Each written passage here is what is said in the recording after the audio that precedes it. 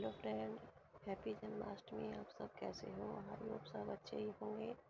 तो मैंने यहाँ पर आज बनाए हैं मथुरा के पेड़े, जो हमारे लड्डू गोपाल को बहुत ही पसंद है और उनका फेवरेट है। तो मैंने यहाँ पर मधुसूदन का मिल्क पाउडर लिया है। ये 500 ग्राम का पैक है, लेकिन मुझे इसका हाफ़ लेना है, यानी 250 ग्राम। तो मैं यहाँ पर डालूँगी दो चम्मच देसी घी।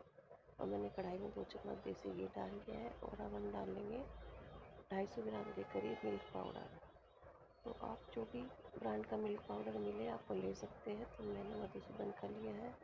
अब हम इसे धीमी आँच पर चलाते हुए कंटिन्यू चलाते रहना है, वरना हमारा पाउडर लग जाएगा और हमारी मिठाई अच्छी नहीं बनेगी। तो फ्रेंड्स, यहाँ पर हमें जो है इसको लगातार चलाते रहना है। तो मैंने यहाँ पर इसको धीमी आँच पर चलाते हुए भून लिया है और हमें इसको गोल्डन ब्राउन होने तक भूनना है। फ्रेंड्स अगर आपको लगे कि हमारे थोड़ा ड्राई ड्राई है तो हम इसमें मलाई या दूध भी डाल सकते हैं ताकि ये सॉफ्ट हो जाए। तो हम अब इसमें डाल देते हैं थोड़ी सी मलाई और इसको अच्छे से मिक्स कर लेंगे। तो हमारा जो मिल्क पाउडर का था, वो कलर एकदम चेंज हो चुका है। और अब इसमें थोड़ा थोड़ा सा कहीं लम्स भी है तो मैं इसको थोड़ा सा दूध और डाल देती हूँ और अब ये थोड़ा सा सॉफ्ट हो जाएगा। अब हमें इसे अच्छे से मिक्स कर लेना है और फ्लेम को बंद कर देना है। अगर मिल्क पाउडर में लम्स रह जाए तो हमें मिक्सी में ग्राइंड कर लेना है। अब मैं डाल रही हूँ इलायची पाउडर पेड़े में इलायची पाउडर बहुत ही ज़रूरी है क्योंकि उससे बहुत ही अच्छी खुशबू आती है। तो मैंने यहाँ पर इसको अच्छे से मिक्स कर लिया है। हम इसे ठंडा होने पर किसी थाली में कर लेंगे और हमें इसे थोड़ा सा गुनगुना ही रखना है।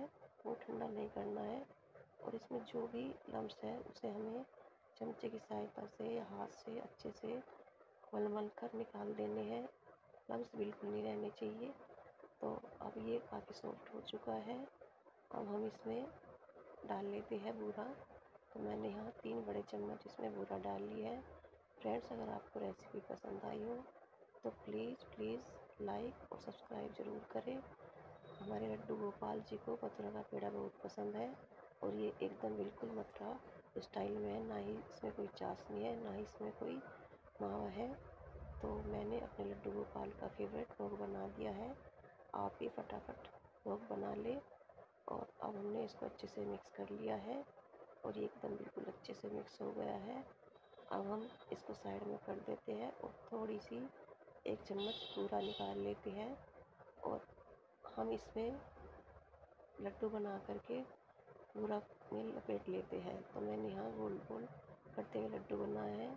जो मथुरा का पेड़ा है वो एकदम इक्वल शेप में नहीं होता है तो इसे आप किसी भी शेप में बना सकते हैं।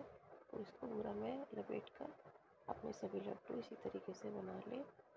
तो मैंने यहाँ पर सभी लड्डू बना लिए हैं। आई होप आपको मथुरा का पेड़ा पसंद आए। और ये खाने में भी बहुत ही टेस्टी लगता है। एकदम बिल्कुल इसका अलग टेस्ट होता है क्योंकि मिल्क पाउडर बिल्कुल एकदम स्वादिष्ट होता है। तो ये पेड़ा भी उतना ही स्वादिष्ट होता है। तो आप भी ट्राई ज़रूर करें। और मैंने यहाँ इसे थोड़ा सा हार्ड बनाया चिपचिप वाला पेड़ा। मुझे अच्छा नहीं लगता